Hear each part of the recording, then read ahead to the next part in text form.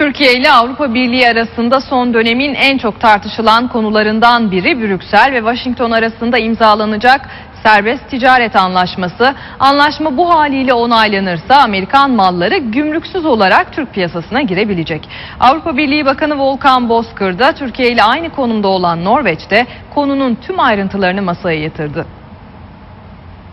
Avrupa Birliği'ne üye olmayan iki ülke Türkiye ve Norveç buluştu. Avrupa Birliği'nin Amerika Birleşik Devletleri ticaret anlaşmasının iki ülkeye muhtemel etkilerini konuşuyor. Avrupa Birliği Bakanı Volkan Bozkır'ın Norveç temasları ekonomi ağırlıklı. Avrupa Birliği üyesi olmayan Türkiye ve Norveç, Amerika Birleşik Devletleri ile Avrupa Birliği arasında imzalanacak ticaret anlaşmasından endişeli.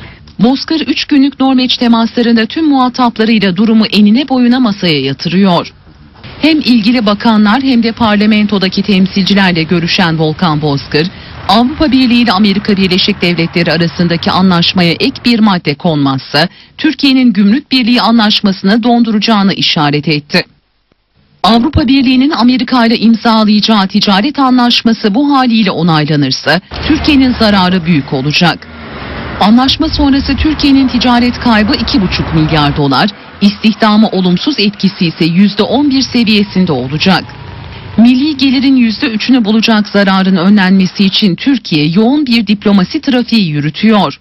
Avrupa Birliği Bakanı Bozkır anlaşmaya ek tek bir madde eklenmesinin yeterli olacağına dikkat çekiyor.